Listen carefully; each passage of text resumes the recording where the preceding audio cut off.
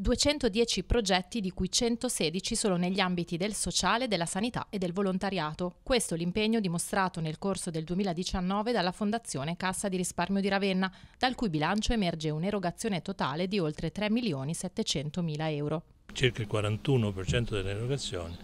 sono finite, sono state destinate proprio al sociale, al volontariato, insomma, a sostegno di tutte quelle categorie che sempre di più aumentano numericamente, sempre di più eh, soffrono, eh, hanno sofferto nel 2019 e purtroppo continuano a soffrire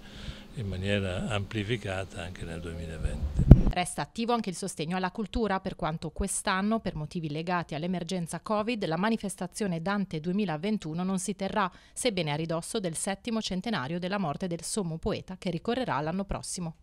Il Covid ci ha, ci ha messo lo zampino e quindi eh, non era possibile organizzare un po' per rispettare i DPCM sulle distanze e quant'altro.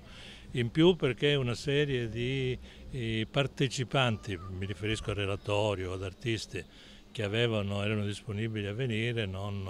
non erano più in grado di poter garantire la loro presenza. Mi riferisco in modo particolare a un grosso personaggio, un giapponese, un dentista giapponese che immediatamente all'inizio del Covid aveva comunicato che